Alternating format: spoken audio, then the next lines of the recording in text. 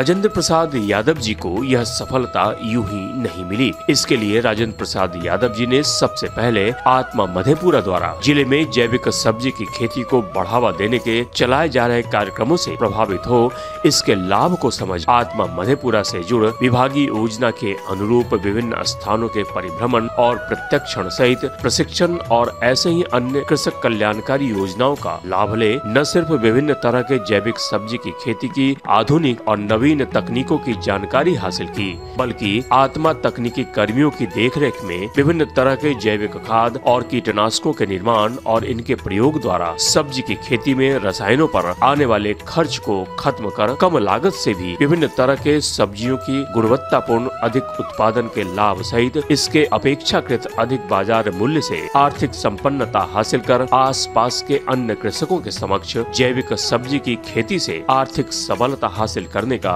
एक अनुकरणीय उदाहरण भी प्रस्तुत कर दिया है। आइए आत्मा मधेपुरा द्वारा स्थानीय आवश्यकता अनुरूप सब्ज़ी की खेती में जैविक तकनीक को बढ़ावा देने के लिए किए जा रहे कार्यों और इससे स्थानीय स्तर पर आ रहे बदलाव पर आगे चर्चा से पहले इस पर और अधिक जानकारी के लिए आपको आत्मा योजनाओं का लाभ ले। जैविक सब्ज़ी की खेती से आर्थिक संपन्नता हासिल कर आसपास के अन्य कृषकों के समक्ष अनुकरणीय उदाहरण प्रस्तुत कर देने वाले राजेंद्र प्रसाद यादव की राय से रूबरू कराते हैं। तो सुनते हैं इनका क्या कहना है। हम लोग एक कृषक समूह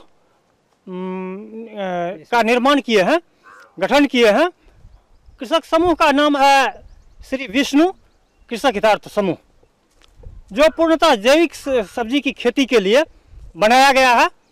और हम लोग आत्मा के माध्यम से प्रशिक्षण पा करके प्रखंड के माध्यम से प्रशिक्षण पा करके कृषि विज्ञान केंद्र मधेपुरा के माध्यम से वैज्ञानिकों के सहयोग से जैविक सब्ज़ी की खेती का प्रशिक्षण पाए और सभी समूह के सभी कृषकों को प्रशिक्षण मिला। और मैं खुद भी प्रशिक्षण दिया और वैज्ञानिक गण भी दिए। सारे लोग प्रशिक्षण पा करके अब जैविक सब्ज़ी करना प्रारंभ किए हैं। इससे होता क्या है कि अ, कृषि के उत्पादन में, फ़सल के उत्पादन में, सब्ज़ी के उत्पादन में लागत कम आती है। और लागत कम आती है रासायनिक खाद प्रयोग के तुलना में। जिस जिस तरह से रासायनिक खाद का प्रयोग पहले कर रहे थे, उससे हम लोगों को लागत ज़्यादा आ रहा था और शारीरिक हानि हो रही थी।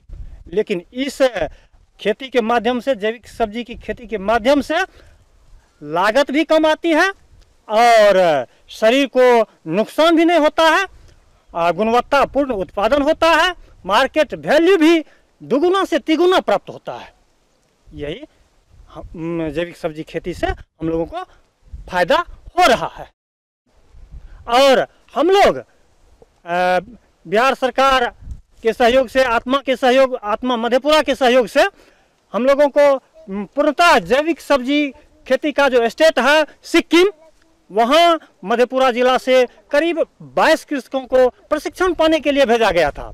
वहाँ जा कर के हम लोगों ने, वहाँ के साइंटिस्ट से भली भांति जैविक सब्ज़ी खेती का प्रशिक्षण प्राप्त किया। उसी के मुताबिक हम लोग अब जैविक सब्ज़ी खेती करना प्रारंभ किए हैं, जो बहुत ही फ़ायदेमंद है।